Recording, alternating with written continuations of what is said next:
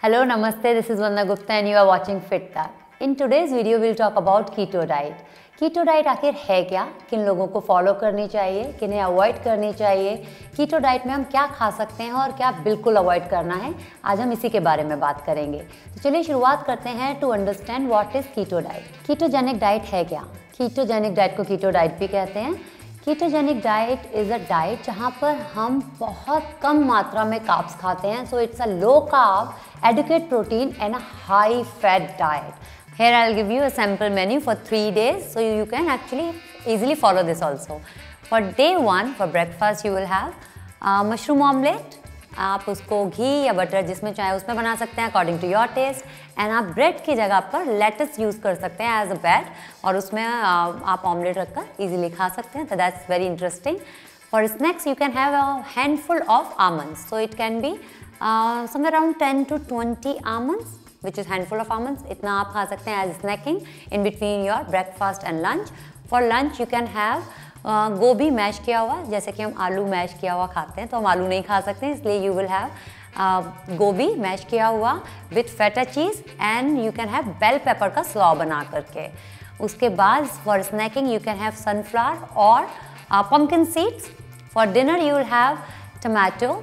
spinach and cucumber का salad उसके ऊपर आप dressing olive oil virgin olive oil या फिर कोकोनट ऑयल के यूज़ कर सकते हैं। You can use most of the herbs whichever you like because in keto diet most of the herbs are allowed for day two for breakfast you'll have paneer bhurji या फिर आप पालक पनीर। जो भी आपको पसंद है आप वो ले सकते हैं। आप टोफू भी यूज़ कर सकते हैं अगर चाहिए तो पनीर की जगह पर। एंड आमंड फ्लावर जो बादाम होता है उसका आटा बना के आप चपाती बनाकर खा सकते हैं। Paratha if you like parathas for your breakfast you can have that for snacks you can have berries so berries are you will have one small cup of berries आप इसको स्नैक्स में खा सकते हैं. As I have already told you what kind of berries you can use you certainly can use those berries for lunch you will have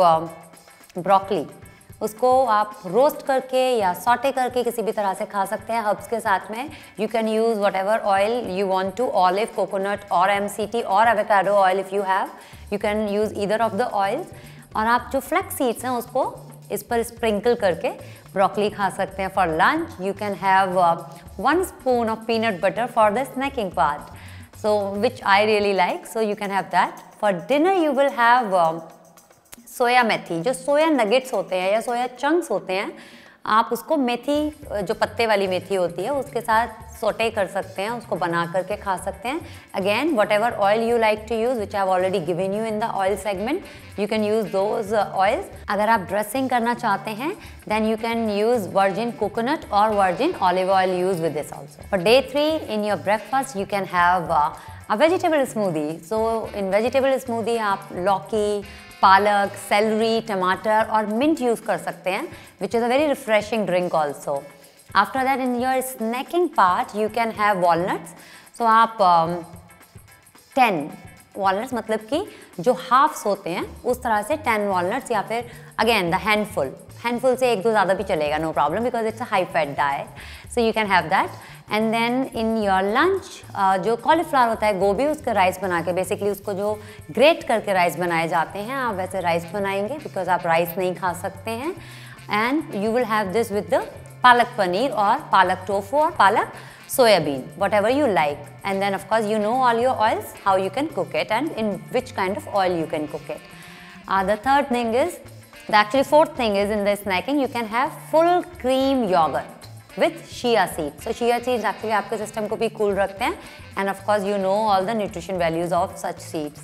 In your dinner you will have Greek salad जो traditional Greek salad होता है आप वो खाएँगे क्योंकि आप olive अपनी diet में इंक्लूड कर सकते हैं। तो then have the whole olive also in your Greek salad and avocados and then you know your dressing you can use any kind of virgin oil in your Greek salad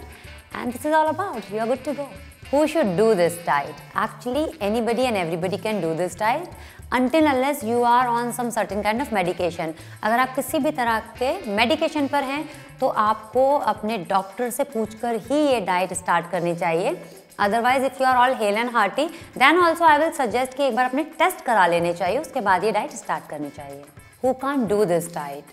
actually जिन लोगों को blood sugar related कोई भी issue होता है, उनको ये diet follow नहीं करनी चाहिए। जैसे कि अगर आपको टाइप वन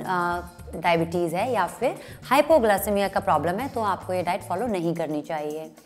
प्रेग्नेंट विमेन को भी ये डाइट फॉलो नहीं करनी चाहिए या फिर